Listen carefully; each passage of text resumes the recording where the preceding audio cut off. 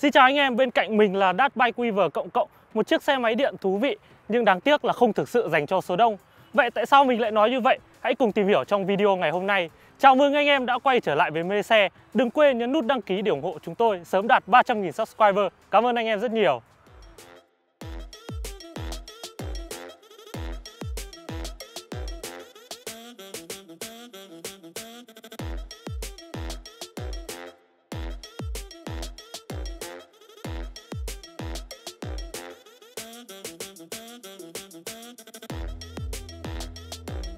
À, trước hết thì chúng ta hãy đến với cái phần thú vị của chiếc xe này đi. Đầu tiên là nói về ngoại hình. Thì như anh em có thể thấy là Datsun vẫn tiếp tục lựa chọn cho mình một cái con đường nó khác biệt hơn So với các cái thương hiệu xe máy điện khác ở trên thị trường. Họ vẫn quyết định đi theo cái hướng thiết kế kiểu cà phê racer, kiểu classic. Chúng ta có thể thấy rõ điều đó thông qua cụm đèn chiếu sáng ở phía trước này. Chúng ta sẽ có một cái đèn pha dạng tròn và hai cụm đèn xi nhan dạng mảnh thì tất cả đều là dạng full led. Đó, và nhìn xuống phía dưới chúng ta vẫn sẽ thấy là chúng ta có một cái bánh trước khá là to bản cùng với cái cụm ờ, phuộc nhún kiểu hơi, nó hơi trần trụi ờ, nó giống classic. Bước tới phần thân xe, chúng ta sẽ thấy ở cái khu vực cốp để đồ của Dart Bike Weaver cộng cộng vẫn giống người anh em Weaver 200 của mình. Chúng ta vẫn sẽ có một cái thiết kế nhìn như kiểu bình xăng trên các mẫu xe classic. Tuy nhiên, năm nay có một sự thay đổi mới, đó là ở cái khóa cốp này này. Tức là ở Weaver 200 là dạng khóa bằng chìa khóa cơ Thì ở Weaver cộng cộng sẽ là dạng mã số. Với cái khóa dạng mã số này thì nó sẽ giúp chúng ta có một cái gọi là độ bảo mật tốt hơn nhiều so với là cái khóa chìa khóa cơ trước đó. Tiếp đến là cái phần yên xe của Weaver cộng cộng cũng là một điểm được thay đổi. Ờ, Ở cái Weaver 200 trước đó nhiều anh em bạn bè của mình và đã có cơ hội lái thì bảo rằng là trọng tâm của cái yên đó đặt quá cao và cái phần yên nó được làm phẳng quá khiến cho họ có một cái cảm giác không thoải mái. Thì với uh, Weaver cộng cộng phần yên này đã được đặt nằm thấp xuống và cũng được vuốt nhiều hơn. Cộng với đó là cái ghi đông scrambler cũng được nâng cao lên nên là mình tin rằng là những cái thay đổi này sẽ giúp cho người sử dụng có một cái trải nghiệm lái thoải mái nhất. Cụ thể như nào thì mình sẽ nói kỹ hơn ở phần vận hành ở phía sau video. À, đến phần đuôi xe thì có thể thấy là cái cụm đèn hậu của Weaver cộng cộng này được làm nhỏ. Có lẽ là hơi nhỏ. Tại vì là có một hôm mình cũng bám theo sau một con xe như này Xong rồi mình nhìn họ xi nhan ở phía trước Mà mình nhìn mãi mà mình không thể nhìn được là họ đang bật xi nhan. Đấy vì thế là mình thấy là thiết kế này hơi nhỏ. Nó tối giản, nó đẹp thật nhưng mà nó hơi nhỏ. Rồi, nhìn lên trên thấy đủ rồi, nhìn xuống phía dưới chút nào. Ở phía dưới chúng ta sẽ thấy là Weaver cộng cộng được sử dụng hệ truyền động mới bằng xích. Thì khác với người anh em Weaver 200 Trước đó ở Weaver 200 ấy nó là hệ chuyển động bằng bánh sau khi mà uh, cái phanh ờ, tái tạo nó hoạt động. Kiểu nó hãm xe lại là xe nó sẽ hơi giật hơn nó cực cực cực cực cực cực.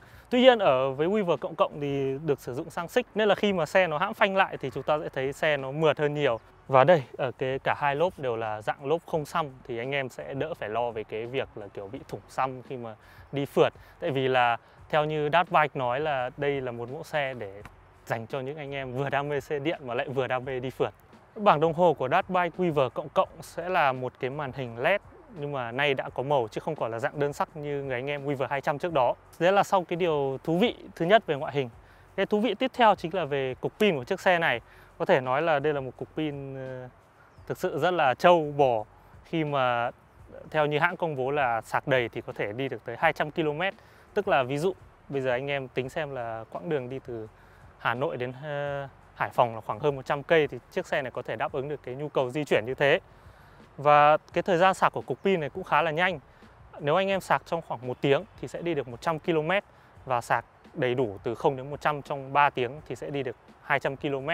Với những anh em nào trong Sài Gòn có hệ thống Dart Charge là cái hệ thống sạc nhanh của Dart Bike ấy, thì anh em có thể sạc chỉ tầm 20 phút là có cũng có thể đi được 100 km. Thôi bây giờ tạm biệt với phần thú vị và đến với phần ờ, không thú vị Cái phần mà ở đầu mình đã nói là không dành cho số đông. Trước hết chính là cái tính thực dụng của chiếc xe này. À, Cá nhân mình mình nghĩ là với một chiếc xe mà có một cái gọi là định hướng dành cho dân đi phượt ấy Thì cái tính thực dụng của xe này là hơi thấp. Không mình không nói liên quan đến khoảng cách di chuyển mà mình nói về những cái trang bị mà để giúp ích cho anh em. Ví dụ như là cái khu vực ờ, để đồ trên chiếc xe này. Chẳng hạn như cái cốp này nếu cái cốp này anh em phải cầm theo bộ sạc pin là cái bộ sạc nó sẽ chiếm hết sạch cái cốp đấy nên là kích thước là hơi nhỏ. Và cái thứ hai là cái phần móc treo đồ phía dưới này. Cái móc treo đồ này đúng là lúc nãy mình còn nói là nó sẽ tiện lợi hơn. Tuy nhiên cái móc treo đồ này lại có một điểm trừ là chỉ được đặt ở một bên của xe. Và điều đó đồng nghĩa với việc là khi anh em cần xách theo một cái túi đồ gì đấy nó hơi nặng ấy, thì anh em sẽ bị gọi là mất mất trọng tâm của cái xe. Kiểu bị nghiêng hẳn về một bên và cái thứ ba mà chưa thực sự thực dụng lắm đó là cái tay nắm ở đuôi. Tức là mình, kiểu, biết nhiều anh em là đi phượt bằng winner ấy, thì họ có một cái là họ có thể chế được cái à, khu vực để gài đồ ở phía đuôi xe.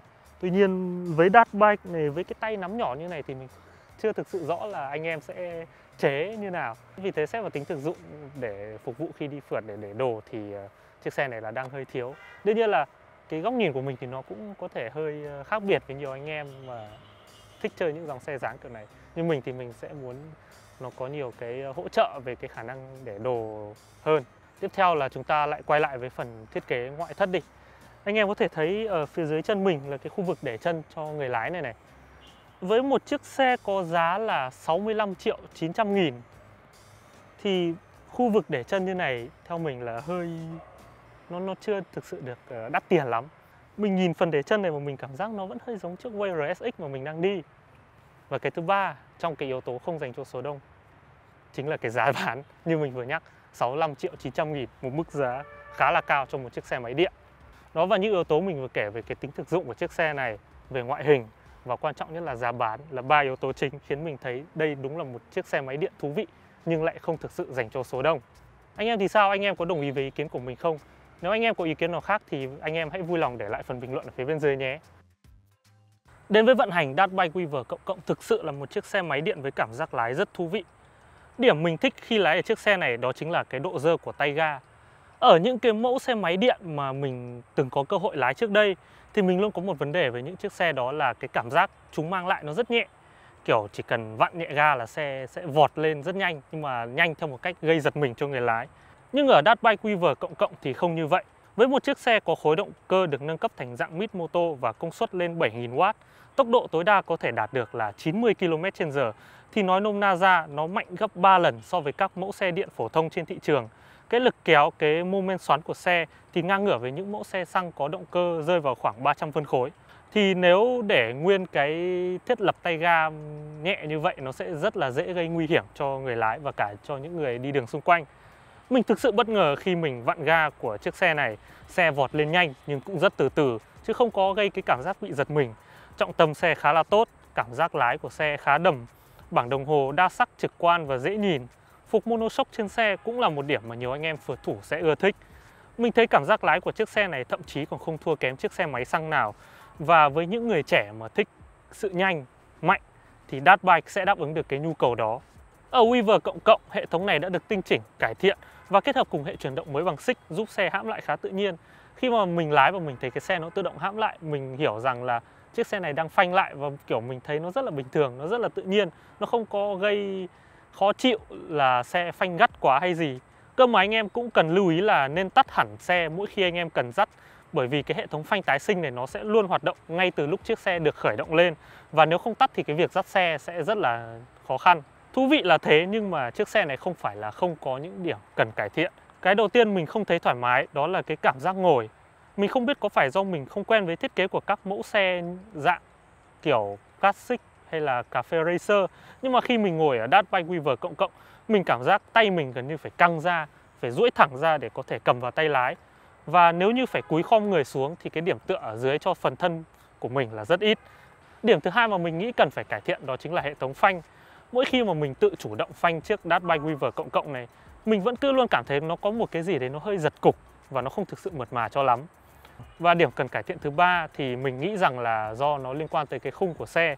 Ở chiếc Weaver cộng cộng mà mình đi, mỗi khi mình đi qua một cái gờ giảm sóc thì mình cứ nghe thấy một cái tiếng lọc sọc nó khá là kỳ lạ.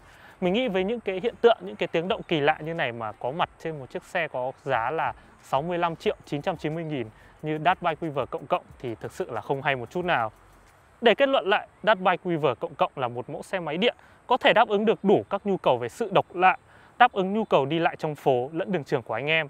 Xe có tầm khoảng cách di chuyển là khá lớn, khả năng sạc nhanh, tăng tốc nhanh và vận hành chắc chắn.